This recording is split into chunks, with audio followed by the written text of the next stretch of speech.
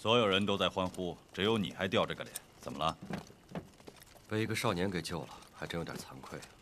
哼，你看我，我就不会这么觉得，我还觉得理所应当。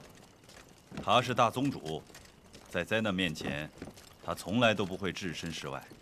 看来这一代的大宗主还真的有点不一样，是我低估了你们。还你们？好吧，是我狭隘了。小周说的对，在生死面前，无论是这些将士，还是我们这些将军，都是凶徒手中的一块血肉罢了。刚才我还在想，要是你变成了赤牙，我会不会砍掉你的脑袋？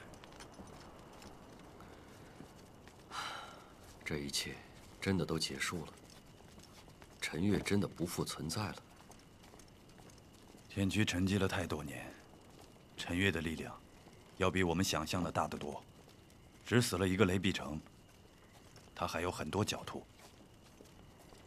九州要想真正的和平，还需要很长的时间，所以